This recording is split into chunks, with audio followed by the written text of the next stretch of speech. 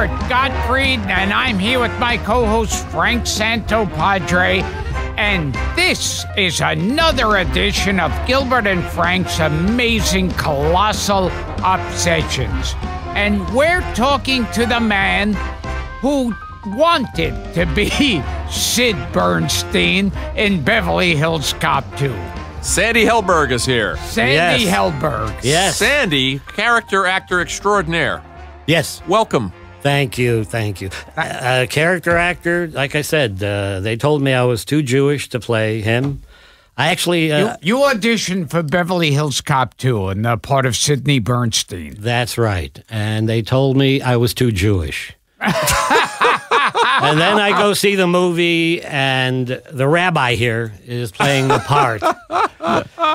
if they're doing a new uh, Fiddler on the Roof, if they tell me I'm too Jewish, then I will quit the business. They really told John. Who who directed that picture? Oh, Martin Brest. They told you you're too Jewish. No, no, No, that was was, the second- uh, Oh, the second the one. guy uh, killed uh, himself. uh, uh, yeah, Tony Scott. yeah, Tony who Scott. jumped off a bridge. I Right, know, Tony and Scott. nobody knows exactly what was going on with him. yeah. He just took a dive, and uh, And that was the sound he made. when he hit the wall. by, by the way, now, now, I I heard that the part of Sidney Bernstein, maybe they would have changed the name, Right. But they had originally asked, while he was still welcome in Hollywood, they had originally asked Roberto Benigni. Oh my God, Ah, that's He- weird. he How wa- is Roberto Benigni going to play Sidney Bernstein? Yeah, yeah. he have to doesn't even it. speak English. You know, Yeah. Yiddish. He he was someone who wore out his welcome Quickly. really Too- too Jewish. fast. Too Jew. You Too know, Jewish when he climbed over the chairs to get his Oscar, they said, "This That's guy's weird. out." Yes. Yeah. Yeah. Yeah, and that was you were so great in that part. You really Yeah. made that your own. See, this is why I Yeah. keep Frank around. he, he reminds you of all. I the- thought you had a nice Sandy Helberg quality Yeah. in that part. Yeah. By the way, you're also speaking of Helberg Gottfried Productions. You're also both in Meet Wally Sparks. Yes. Oh my God. yes, that was a brilliant film. Oh, it was nobody was directing the movie. Those, Yeah. Uh, what's his name was directing it? Um, uh, his oh, friend. the comedian Uh, Harry Basil. yes, Harry yes. Basil. Can't believe I know that. But the original director was a TV uh, director I'd worked with, Peter Baldwin. Yeah. and he oh, had I hired. worked with Peter Baldwin. yeah. Yeah. and he just hired me. I didn't have to read, and I go there, and Peter's sitting in the corner on a chair reading a magazine. I said, "Hey, how you doing?" He said, "Go over and talk to the director," and it was uh, Harry. So one can assume that Rodney used his muscle to get the uh, the original director pushed out for his buddy. Yeah, and Uh, he still uh, Peter still took uh, sole credit, which I think was a mistake. But Did, uh, did Harry Basil also direct Back by Midnight? I, I think he don't- did a Dangerfield Ooh. picture or two. I, I was in back I by know. midnight. I know that. that back by midnight made Meet Wally Sparks look like Citizen Kane. yeah, oh my god! but no, I haven't even. se- I'm saying that uh-huh. just Never from see- yeah. acting it out. I've never seen the movie. I'd be scared. We had to. Ed Begley on the show. You know Ed. Yeah. And Ed was in it too, and they discussed how neither of them have ever seen it. I don't think uh, Harry Basil has seen it. You know, I don't think he saw it when he was making it. Good guy, Uh, Peter Baldwin, by the way. I worked on a sitcom with him. He died last year. I think we lost him. Yeah, I worked uh, on a couple episodes of Quite a Newhart. resume. Newhart with him. He started out as an actor. Yeah. He's great I, worked- looking, I wrote on a very forgettable sitcom he directed. which was a Good man. Oh, let's Rod- not. Let's Rodney not. Let's not go there. Dangerfield is one of those people that, like, I mean, I I love to see the old guys around, but Oh. boy, he I wish he had retired earlier. yeah. You, th- you think so? He would go on like the Tonight Show Right. when Jay Leno was the host, uh huh. and it's like you know you remember when how great he was on Oh. Carson. He would be like a mile a minute. He didn't have any conversation. Yeah. Johnny said, "How's your health?" And he would do Yeah. twenty minutes. Yeah, you gotta take care of your health, Johnny. He said I was. I'm all right now, but last week I was Yeah. Oh, it was tough. and Yeah. and he would come out, do a set, right, and then sit down on the panel, and that was another set. right, would do. right, Right. right, But Right. then it Those were the just looked like, you know, he would come on, and it looked like he didn't, you know, just can he get through the sentence? Yeah, yeah. He, I ran into him years ago at Musso's with uh, Richard Lewis. Yeah. And I, I said hello to Richard and, and Rodney, and Rodney's eating. I said, What are you eating there? And he had a plate of herring. Yeah. He said, I'm eating my heritage here. And he was eating the thing, and uh, he should have quit then. Yeah. But, uh, Right. Well, maybe, maybe the drugs took their toll. I think Oh, they did. sure. after a while. But Sandy has had a fascinating career, Gilbert. In addition to being beaten out uh, by, By you. you. for Beverly Hills Cop, I've been beaten by a lot of people. he's but- in Spaceballs very memorably. He's in High Anxiety. Ma- Chevy Chase's Modern Problems. He's in. He's one of the disciples in History of the World. Wow. With John Hurt playing Jesus, and he's in the original Gopher from the Love Boat pilot movie. Oh, too Jewish. too Jewish. After they saw me standing next to Dick Van Patten and Cloris Leachman, and uh, What happened? Cloris Leachman gave you a hard time. she gave me a very hard time because uh, I, uh, she and uh, Tom uh, Bosley. Bosley, yeah, uh, Tom Bosley. They played a husband and wife on the Love Boat, and I had some scenes with her. And every time they yelled "cut," she'd turn around and go over to the director and point to me and say. My son is much better than he is.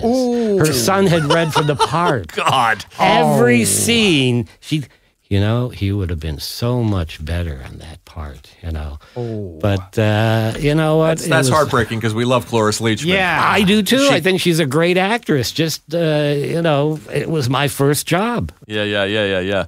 That was the and that, that was Dick Van Patten was in the captain the captain's role. Uh, no, Dick Van Patten played the doctor. Oh, he played the doctor. He was in Bernie Kopell's part. okay. yes, right. And the captain was an Australian, An guy, unknown actor. an unknown, still Yeah. unknown. Yeah. The girl uh, is an unknown from New York, Right. and uh, still unknown.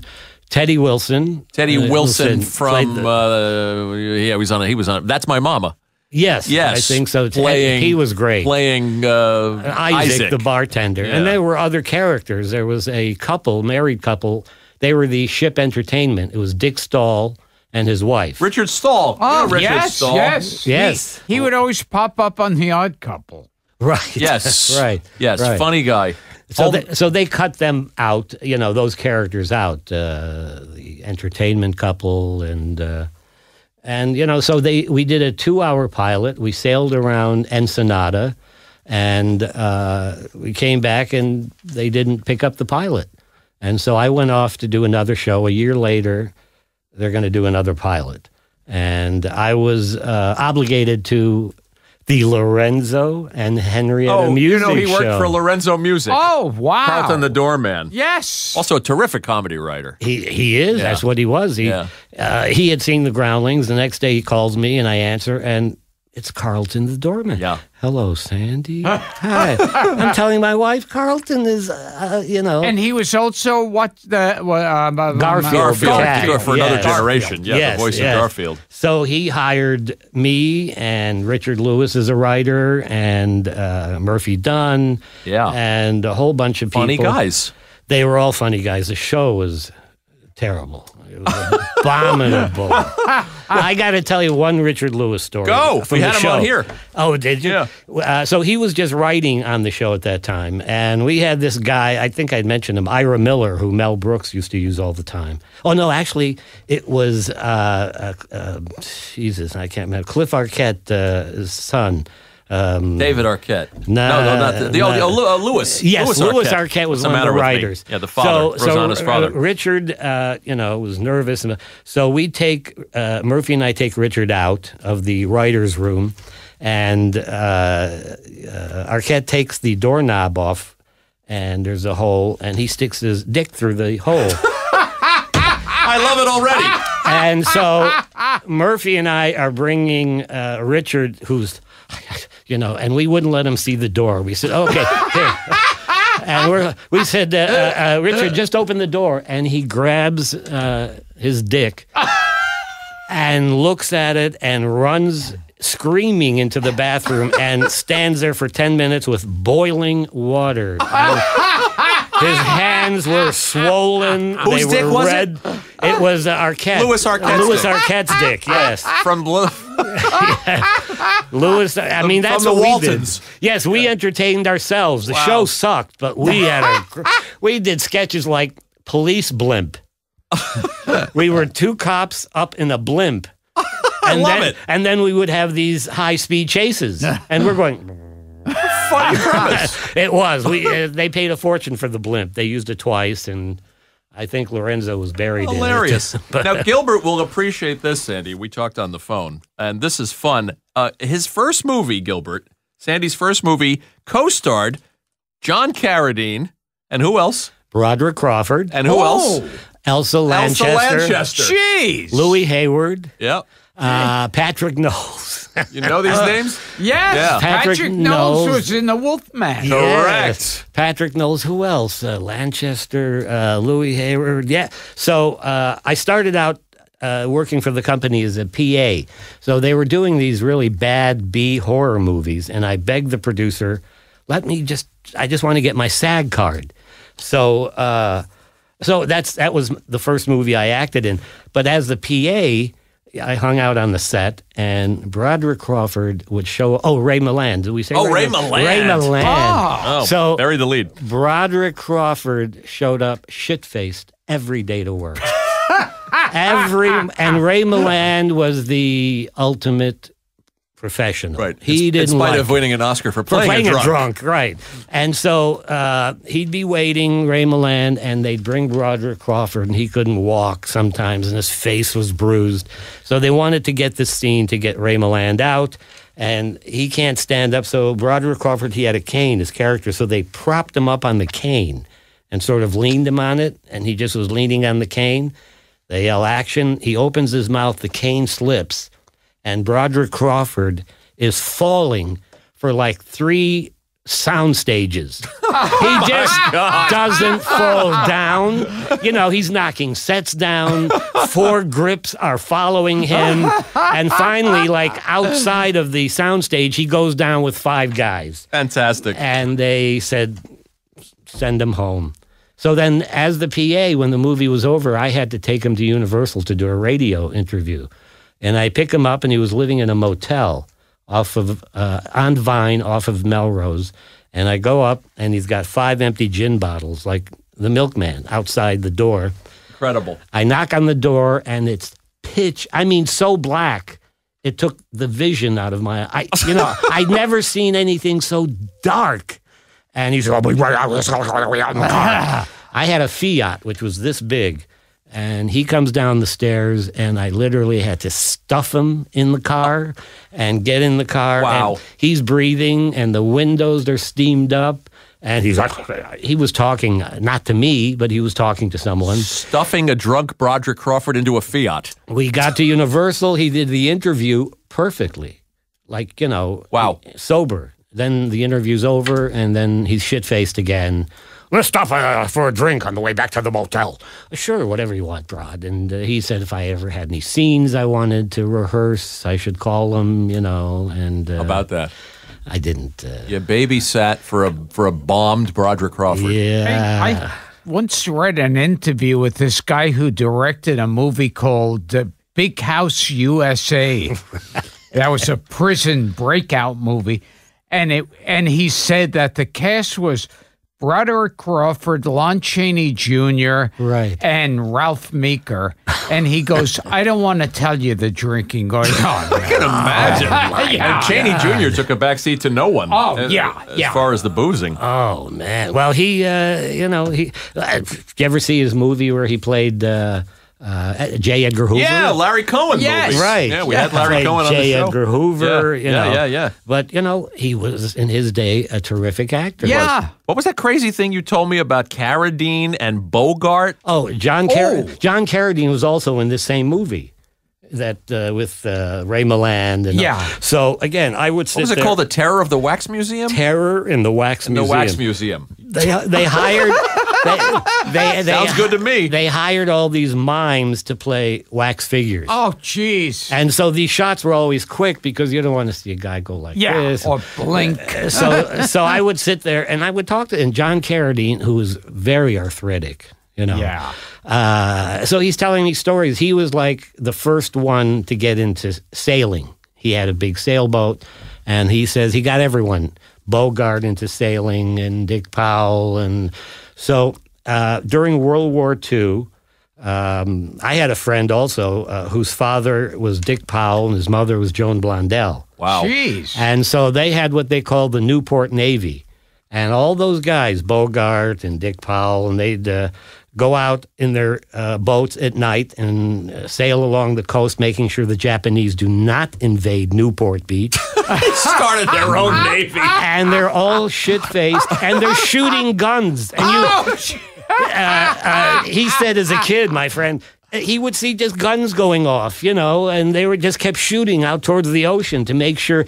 And my friend, who was Dick Powell's, he was on a yacht with his father, mother, Bogart, and Lauren Bacall. Wow. And he was a teenager, and he was staring at Lauren Bacall's ass. And she turned around and looked at him. She said, You get enough?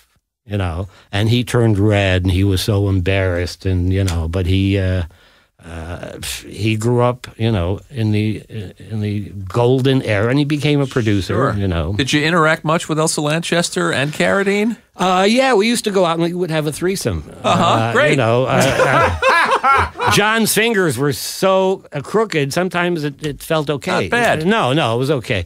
No, yeah, fuck, go to lunch with him. Uh, uh, now they just would work. Uh, and there was also a very famous uh, Japanese actress. I can't remember. Okay. They were there was nobody under seventy in that movie. Right. You know, except and you were a kid. I was a kid. I played Yeah. an English uh, newspaper guy I love that. and so uh, yeah, it was uh, it was amazing. But at that time, also at Paramount, when I was there as a PA, they were shooting Godfather Two and Chinatown, and I had my bike, and I'd go from soundstage to soundstage. Good time to be there. It was, and Frank Sinatra did his comeback special at Paramount, and it was Oh. on the stage across from where I had my little office. Security all over, but I'd been there, so I could. I went in the Happy Day soundstage and worked my way into the Frank Sinatra soundstage. Love it. He and Gene Kelly are singing and dancing, and they're doing "The Lady Is a Tramp," and so. Uh, Gene Kelly's dancing and Frank is singing, and Frank goes, "That's why the lady is. That's why the." He says, "Are there any ladies here?" No, no lady. That's why the lady is a cunt. Doom, doom, doom. and Gene Kelly just went, "Well, Frank, that's not how you're going to do it, is it?" He said, "No." I said, you know, uh, I thought comeback. It's, you know, but uh, yeah, so that's what he did, and uh, Frank could be a little vulgar. Well, ask me a pharaoh. You know. yeah. Yeah, yeah, yeah. I like this story too. Uh, this and Gilbert will also appreciate this one, which is the. Uh, by the way, uh, Sandy knew Pat McCormick, but we'll talk about that. We'll sa- yeah. we'll save that. Sandy and I worked on a project with Pat McCormick, which you Yeah. didn't know about me. Oh, That's right. Yeah, but he also knew Jack Riley, Jack Riley. who's uh, come up on this show a bunch. Yes, yes. he introduced me to Mel Brooks. oh, Actually, he didn't. He set me up. He he came to see the Groundlings, and uh, he lived down the street from us. And he said to me uh, after the show, he said, "Would you like to meet Mel Brooks?" I said, "No, no. I have. I, I think I'm going to the dentist." I I thought he was kidding. He said, "No, I'll really set up a meeting. I think you're funny. Mel will like you." And so I go in to meet, and again, there was like Groucho, my another icon, and I could. So his office is like the size of Madison Square Garden. I go in the door. Takes me ten minutes to walk from the door to his desk, and I'm walking and I'm walking and I'm sweating, and Mel's just sitting there. He's watching me. He's watching me, and I finally get there. And he says, uh, "Took you long enough. Sit down." And he, so, so we start we start to talk, and I made him laugh. And I I got up. I said, "I'm gonna go." He said, "Where are you going? Why are you going?" I said, "I made Mel Brooks laugh. I'm gonna quit show. That's it. I'm gonna quit show business." That's what I have a picture of me and Groucho. And so he sits me down and we talk, and he says, "You know, I like you. I was gonna give you a small part, but now I'm gonna give you a bigger small part." And so Was the first one high anxiety? I had anxiety, and I had the scene with him and Madeline Kahn, who was great, you know. Mm-hmm. And then, then I never had to audition. He would just call me, and for uh, the second one was what? I guess History of the World. History of the world. So I come in, and I'm going to play Einstein, and they do a two and a half hour makeup on me and mustache, and and I had to sing, and I don't sing at all, at all. I can't even say a song title in tune. So he, they're having me sing, and Mel was playing Hitler, and this other guy was playing Freud. And the scene was ice skating. We were going to ice skate. And um, so I come in and I'm going to sing the song, and the musical conductor, John Morris, is singing in my ear, and I'm still singing. Also, uh, Jackie Mason was there to sing. Oh my God! He was there dream. to sing. His song was. I'm sitting flicking chickens and I'm going through the pickings. All of a sudden, the goys back down the walls. And he did, did, did, did, he, he, he sang worse than I did. Unbelievable. And so, uh, But Einstein didn't make the cut. no. So uh, he cut the whole skating thing. So he calls me again. He says, I want you to do the Last Supper. And that was with John Hurt. Yes, play Jesus, Jesus. sure. And I was the apostle, the first one when he comes in, Mel. And uh, um, Art Metrano was in that Oh, we had scene. Art Oh, here. yes. Really? How Art, was he Art was Da? Vinci. Yes, he was. was he did the last, Yeah. Painting and, the Last and my pictures, and uh, you know, yes. I show that to my kids. They don't know Jesus. They don't know the Last Supper. You know, and They don't know Art Metrano. they don't know John Hurt. So, uh, uh, uh, you know, we did it. and It was a lot of fun. Then afterwards, um, we go back to the dressing room, and John Hurt is just like a wooden curtain between his dressing room and mine. And he taps on the thing, and I say, Yes. He says, Oh, would you care to come over and have a drink? I said, Sure. And I opened the curtain. And like an avalanche of empty booze bottles. See, oh. we have this connection with booze. I'm not an alcoholic. I know, but- but I was ankle deep in empty booze bottles. Almost every story we talked about on the phone it's, involves some, alcohol, some form of, of- of abuse. abuse, Yes. of self-abuse. And we sat there till like midnight till the security threw us out and drank. And again, All those me- British actors. To me, it's like, oh, I'm sitting here with John Hurt, you know, and we're both drunk and they're throwing us out of Fox. Getting blotto with Jesus. Yes. Ta speaking of Brits, tell Gilbert the Ringo story because that one's also fun. And then the Laurence Olivier, which I didn't tell you the tail end of that. Tell me. Uh, my wife cast this movie, The Jazz Singer, with Neil Diamond. Yes. Oh, yes. Gilbert, yes. Gilbert does a bit for, about it. And and um, Oh, what? Uh, uh, Lu- uh, Lucy Arnaz, Lucy Lucy Arnaz. Arnaz. and Laurence Olivier Olivier, as who, the father. who has the classic line, "I huff no son." Very good. that is very good. So uh, uh, he brings a, uh, a uh, not an acting coach, but a woman to help him run his lines. And so my wife and I go to the hotel, and we're sitting with that woman talking, and out of the bar comes Hume Cronyn, William Holden, and Laurence Olivier. Man, Shit faced. I mean, shit faced. They're like weaving, walking behind each other, weaving. And I'm just, I can't believe it. You know, as William Holden walked by, I said, Watch your head, don't fall down. Oh, I'm sorry. You kid, you kid. I kid. So anyway, so uh, a tradition in the movies is uh, the casting director calls the actors for their first call. My wife had to call Laurence Olivier. I'm on the phone upstairs. And she calls him. He goes, "Hello." And he was staying at the hotel. She says, um, uh, "What do I call you, Lord Olivier, Mister Olivier?" He said, "Just call me Larry." And I thought she's not going to call him Larry. She says, "Well, Larry, I have your call here. It's 8:30 a.m. Stage four, scenes 10 through 12." He says, "Okay." Uh, what sound stage? She says 12. What studio? Goldwyn. What scenes? This went on for 15 minutes. What sound stage? 12. Oh, my God. and my wife said, I'll make sure the AD, uh, and the woman drove him back and forth, but he just, uh, what scenes? Okay. what movie? yes. Is this where I do the soliloquy? You know, you're not my son. Yeah, Oh, I remember how, the way he said that line. I don't have.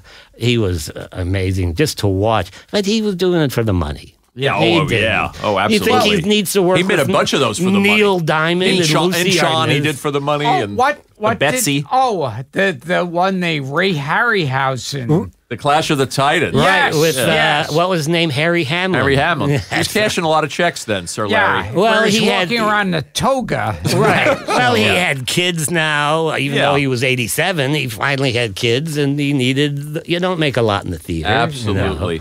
But either tell Gil, and they're both fun. The Ringo story, but you you got to tell him the Jerry Van Dyke story. I'll tell that him may it. be my favorite. And the Lucille Ball And we'll get to that one. So, uh, which story was I going to tell you now? Well, well, I think I think blank out. Gilbert oh, will Ringo, appreciate Ringo. the Ringo Yes. one. Well, um, uh, well, as a kid uh, growing up, I had a huge nose, and uh, I had it fixed, but it did grow back.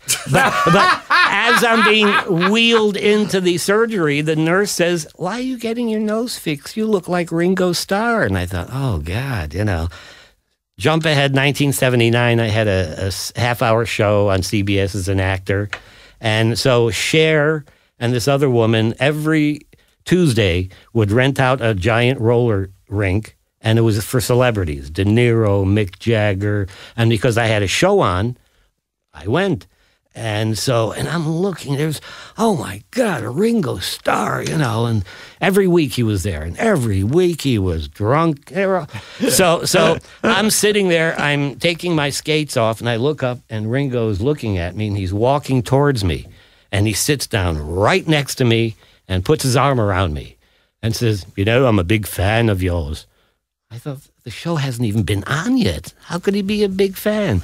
He says, I listened to all of your songs. He, I don't sound like Ringo. That's It's all right. It's close enough. it's more like Ringo after he lived in Israel. It's like, one of the- it's like the, the actor from the Bad Beatles cartoon. playing Ringo. That's right. But it's pretty. It's pretty good. So he says to me, uh, "Yes, I, I, I like uh, some of your songs." I, I said, "I'm not. I don't. I'm not." Uh, I said, "I know who you think I am." He said, "Aren't you Stephen Bishop?" I said, "No, I'm not Stephen oh, Bishop." And he was so disappointed. He said, "He said, really?" He said, "You should tell them you're Stephen Bishop because you get lots of free things." And so he was schwitzing and he smelled from booze. I took my handkerchief out and I gave it to him and he, oh, sorry, he wiped himself down, gave me back the handkerchief, and I have it sealed in a plastic bag.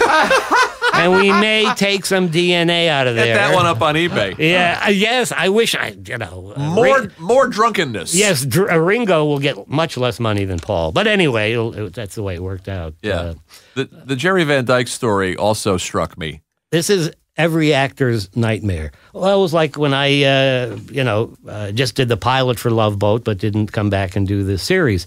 So Jerry Van Dyke, uh, his friend was Sheldon Bull, which is a writer. He wrote uh, the old uh, Bob Newhart show and created. So he created uh, the Newhart show, and he calls Jerry. Says, "I wrote." A part in for you. It's yours. You don't have to audition. It's yours. The innkeeper. Uh, Yes, when the, he was the innke- innkeeper. uh, Tom uh, Poston. Yeah. So, so he uh, uh, says, okay. He calls him a week later. He says, you know, CBS just wants you to come in just to meet. And Jerry Van Dyke is, no, I hate those meetings. They never liked me. He says, you don't have to read. Just come in, meet the CBS people, say hello, and that's it. He goes in, he meets them, he leaves. That night, Sheldon Bull calls him and says, I'm sorry, Jerry. You know, Bob wants Tom Poston. And Jerry Van Dyke goes berserk. I mean, crazy. he says, I knew I shouldn't have gone in. And, and so his, he goes furniture shopping with his wife after this. And he's out of his mind. They go into this antique furniture store on Ventura Boulevard. In walk two guys with guns. And they're going to rob the furniture store of the cash because it was high end stuff. And they yell, Everyone on the floor, everyone down. And Jerry Van Dyke says, I'm not getting on the floor. Go ahead, shoot me. I lost a series. They recast me. And the gunmen start to back out, and he's following. Go ahead. And they run down the street, and he says, Please kill me. I don't want to live anymore. And then filed, finally Sheldon Bull put him in Coach. That was also his show. Isn't that But, great? but you know, there's so many people. You know, there there were like ten guys who were going to play uh, the uh, um, a part in Jerry Seinfeld, the uh, Jason. Um, Oh, the J- oh the, the the George Costanza George. part. You know, oh yeah, I think Paul Shaffer. Paul was Shaffer. up. Yeah. Yeah. Really? I didn't know that. Yes. But all these actors, they all, I have it, and then I didn't have it. You know, it was. uh, Well, you got to work for Mel Brooks. Gilbert didn't even make it because they replaced him with Oh who? yeah. I I auditioned for uh, Life Stinks. and and it So was, did the movie. Yeah, No, uh, uh, yeah. and and I got, of course, the classic Hollywood thing. You're you're who we want. Right. You're it. and and then uh, I it turns out I didn't get it, and I said, well, who did they get? Billy Barty. Billy Barty. Oh my god. I god. lost out to a famous midget. I uh, this is a Billy Barty story. I uh, Fire away. in the Groundlings. Well, I uh, in the Groundlings, I did this character named Jackie Moldave, and he was like Jerry Lewis. You know, I wore Yeah. a tuxedo and the cigarette, and brought people up on stage and insulted them, and so they were uh, doing a benefit at the Santa Monica Civic for animals. You know, Betty White's thing, and they told me Billy Barty was uh, going to do the show. I said, okay. So I'm out there doing some shtick, and out of nowhere, Billy Barty comes running out on stage. And he says, "That's enough. Get off there. Come on." Yeah, But, but he's kidding. And and I say, "No, get out of here." Uh, he throws himself on the floor, grabs me by the knees, throws me down on the floor. And the two of us are rolling around, and I'm in a tuxedo. We're rolling around on the floor, and this was un, this was unrehearsed, you know. And uh, I don't know. Then we both got up, and I started. I picked him up, and I thanked, you know, did the old thank you for the award, you Right, know. right, right. But uh, there aren't a lot of people that I know have that have ever wrestled with Billy Barty. Midget, actual midget wrestling. Yeah, and he's a strong. He was a strong little guy. You know, he'd grab you by the nuts, and he would not let go because that's about. Did you ever actually meet him, Gilbert? Uh, Is it- no. Oh, okay. No, Okay. never. he just, I he would've- just says You you look out. disgusted. I could have I could have gotten into a fight with him. Yeah, that's the easy Yeah, part, I you know. Right. But And uh, according to that uh, Peter Dinklage movie, oh, oh, uh, right. Billy Barty punched out uh, Right. Hervé Harvey Villechaize. Villechaize. Yeah. Yeah. Good lord. Oh, Good lord. Well, tell us about meeting Groucho and, and, Oh. and the infamous Erin Fleming. Okay, so um, uh, first, uh, I uh, I went to see that concert at Carnegie Oh, yeah. Hall. He was. Yeah. We just had Dick Cavett here. yeah, and it, it was heartbreaking. Oh yeah. You know, during there was an intermission that was like a half hour long, and then uh, So you were both there Yes. as kids. Yeah, Yeah. you were there. Yes, he was there too. Oh, Yes. I didn't know. You didn't say hello to him. That's funny. I don't remember seeing you there. That's- so uh, the lights come up, and uh, he's standing there on stage, Groucho, and there was a guy lying on the floor running a mic cable up his pant leg, you know, and this is in front of the audience. And so uh, then when I went to LA, I got into a workshop uh, at 20th Century Fox, and Erin Fleming was in the class. It was a, an improvisational workshop. And I didn't know who she was. And she would come and she was sort of attractive. And then one night she shows up to class with Groucho. This is in a workshop. And he comes in. It took him 20 minutes to get from the door to the seat, but I, the way you did it. So uh, the teacher says, "I I don't know. Do you want to work? He says, I'll only work with the girls. I don't want to work with any men. She says, Go ahead. And he gets up on stage, and there's a table and a chair, and he sits there. He says, Okay, I'm a Hollywood producer, and you're coming in to audition for a movie. And so the first girl gets up, and she's talking to him, and he takes his pencil and throws it across the stage. He says, Look, sweetheart, would you get that for me? And she bends over, and that's what he wanted to do look at the ass. He had every girl come up on stage. He'd throw the pen, they'd bend over, and he'd say, Thank you, we'll call you next. And that was the entire. Groucho's dirty old man. That was the entire class. And then uh, I met him, and I had my picture taken with him somewhere in storage. Uh, I was in this movie. Sheila Levine is dead and living in New York. Yeah, you know that Oh, yeah. picture, Gil. Yes. And uh, so she brings Groucho to the set. And again, I, you know, the first thing I did was get him in Groucho in the headlock and have pictures taken of me. I figured if he doesn't survive the headlock, I got the pictures. Sure. So uh, I say, I can't, you know, I saw you at Carnegie Hall. And he did that line. He looked at me, squinted. He said, Funny, I don't remember seeing you there. I was thrilled That's Yeah. great. you know, great. he did, and then a friend of mine had the poster, and uh, this rock and roll guy. They had named an album, two albums, one "A Night at the Opera" and the other one "A Day at the Races." Oh, yes. yeah, Nice segue. yes. you know, well, he gave me the poster off his wall for the Groucho Carnegie Hall Well, poster. since you became friendly with the members of Queen, yes, and I think, and this is the only podcast in the world where the show, the name midget, the word midget is acceptable. I, I won't allow any other But word. Sandy mentioned something to me about uh, uh, lavish uh, uh, Queen parties. Uh, you want to take it from there? yeah. They uh, uh, one of them, the drummer for Queen, moved in next door to me. and Roger we- Taylor. Roger Taylor, and we've been friends for like forty years. And the debauchery that would go on with these guys, the parties they had, you know. So they had a birthday party for Freddie. It was so, I don't know if there is a word, debauched. He didn't want me to come. He was embarrassed. I said, ah, it's okay. What's they, it was drugs and booze and drugs and booze.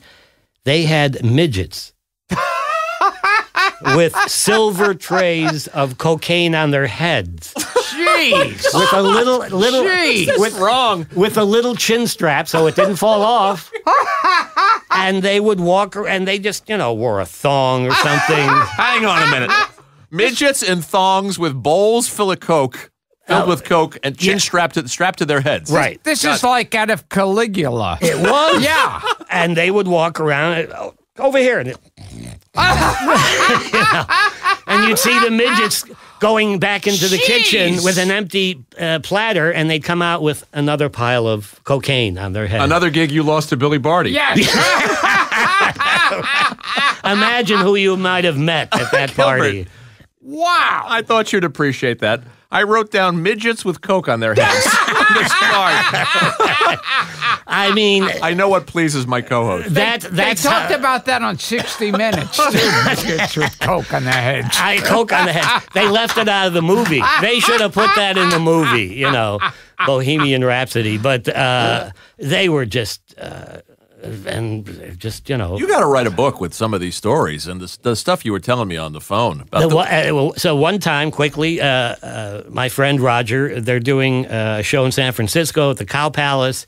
So he flies in a private jet, me, my wife, and his wife, who live next door to us, up to San Francisco.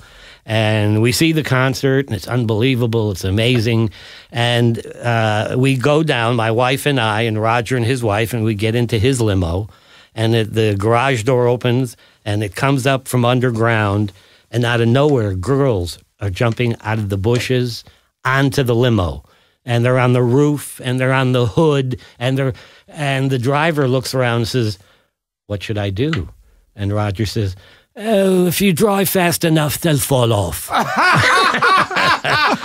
One of them hung on to the 405 until we were Love almost in town. That happens to you, Gil. Yeah. and you just would see them fall off the top and peel off the hood. And, Women leap onto your Uber, Gilbert, when, Yeah. you're, when you're doing a gig in Cincinnati. Yeah, yeah, when I'm doing giggles. or. Right. so, uh, yeah, so, you know, we went You, to you have been an eyewitness to a lot of very strange. Behavior. Well, yes, I mean, and as I said, debauchery is a good word Yes. because that's it's a recurring theme yes, yes. with these people. Well, the debauchery, uh, I told you the thing with Mick Jagger at the roller skating. Yes, yes. Yeah. Oh. Mick ja- so Mick Jagger went to the roller skating Yes. too. And so um, I go into the bathroom and I go into a thing. I close, lock it because I don't, I like to, my privacy. Yeah. And I hear someone else come in and I'm looking through the thing and it's Mick Jagger and two other guys. And I'm in the toilet with the door locked, trapped. He takes out a bottle this big with cocaine and he doesn't let them he throws, he anoints them like this. Oh, geez. And the Coke is flying around the room, and they're just doing it and doing it. And I thought, I got to get out of here. so I've been in there 15 minutes. They don't know I'm in there. So suddenly I throw open the door, and the, as cool as I thought I was, I looked like a narc next to these guys. And I walk out, and I'm like ankle deep in Coke. And I wanted to show them how cool I was. I open my pocket and I take out this tiny little bottle. And they're looking at me like, you know, and I thought, fuck this. And I put it back in my pocket and scoop up some and, and that was it. And But uh, every week there were just amazing uh, people at that. Incredible days of Hollywood. Yeah. Days gone by. Those days are not around anymore. No, and a lot kinda- of those people are not around kind of drug anymore abuse. either. Yeah. Ta- take us out on the, uh, and you know, we'll have you back another time, Sandy, and co- cover things that we haven't covered because there's a lot more stuff. But I do know that Gilbert's going to appreciate the Lucille Ball stuff. I figured that. oh, yeah, So- I, I like it already. All right. So No midgets full of coke. no, no. Uh, uh, my wife cast the jazz singer. And, uh, you know, they had so many. At one point, Barry Manilow was going to do it. Yeah, And sounds then, right. Yeah, and then they thought, so who are they going to get as the other leading man? So uh, they wound up hiring uh, Neil. And after seeing dozens of women, the director settled on, not settled, but he wanted Lucy Arnaz. And uh, we became friends, you know, and uh, so uh, Lucy goes back to New York and we don't see her for a while. My wife and I are having a baby, and uh, we're at Cedars, and she just, my wife just gave birth, and we're in the recovery room, and there's a curtain we hear on the other side, a voice that sounds familiar. And I take a peek in the curtain. It's Lucy Arnaz. She's laying on the bed in the recovery room next to us. And I pull open the curtain. We say, What are you doing here? What are you doing? She said, She just had a baby two hours ago. And we said, Well, we just had a baby, a boy. We say, What's your, your baby's name? She says, Simon. What is your baby's name? Simon. And uh, for five years, I used to have Simon and Simon parties. And when she'd come to LA, she'd stay with her mother. She'd call us, invite us over to swim. And the first time we went, we went up to the front door, knocked on the. I mean, her house was completely open from the street. You could, you know, you could see the house. And Lucille Ball opens the door. And we're just all standing there looking at her. I mean, our kid didn't know who she was. She invites us in. All the curtains are closed. It's dark. Not as dark as Broderick Crawford's room, but it's pretty dark, you know. Shag carpeting, and she's playing. Uh, um I forgot the game with a guy. Backgammon. Backgammon, yes. Um, uh, she's playing backgammon, and you know we're out in the back swimming and doing this stuff. And so now we're going to leave, and we head. We came in the front door, and we start to go out the back door. She says, Lucille Ball says, "No, no, you have to go out the same door you came in." And this is a thing she had, and so we had to go around and go out the back door. So then, uh, oh, so after we had the baby, there's a knock at the door in the. I'm sorry, I'm jumping in the hospital room. I say, come in, and it's Lucille Ball and Desi Arnaz. Oh, And I, again, I'm this guy from Ohio, and the two of them, I thought we brought them back together, you know. And they came into the room, and she says, "I want to see this other Simon." And she looks at our baby, and we talk to them, and my ears are ringing. I can't believe Lucille Ball is here. So one of the swim parties, I didn't swim. I sat in the living room in the dark with Gary Morton, and uh, you know he was her. Sure, yeah. So he's just wearing a terry cloth uh, uh, bathrobe, nothing else, oh, and he's sitting there with his legs spread. And I'm looking, you don't, you don't, and it looked like, I mean, his schlong it looked like a dead uh, cobra laying on the floor. I swear, his schlong just sort of made a circle back up to his groin area. And, you know, and he's talking to me and he's leaning, he's got his legs spread. I don't know where to look. I keep looking. Oh. And then as I left, I said, now I know why Lucy. Showbiz. Showbiz story, yeah. Yeah. Here's you know. Lucy and here's Gary. Yeah, here's Gary.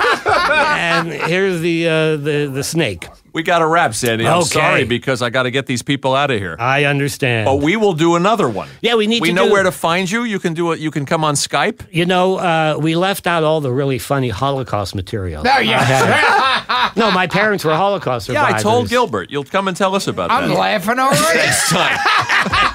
It's a million. It's six million laughs. Let me tell you. But you know, you and know, Gary Morton showed up. That's It- right. It his puts schwang the on. ha ha in oh, Holocaust. Holocaust. Right, yes. You're in, you're in. LA. You'll go to the studio. We'll I'll get you on Skype and we'll do another one. It sounds good. Okay, buddy. I enjoy this. Thank this you has so been much. Gilbert and Frank's amazing colossal obsessions, and we've been talking to the man who lost the Sidney Bernstein part. Uh, and and I wound up the Jew doing it in Beverly Hills Cop 2, but he did get to a party with midgets in thongs with coke on their heads. And I got to see Gary Morton's schlong. Yes. That's more than I've done. Thank you, Sandy. Sandy Thank you very Albert. much. Thank you, buddy. Thank you. It was a pleasure.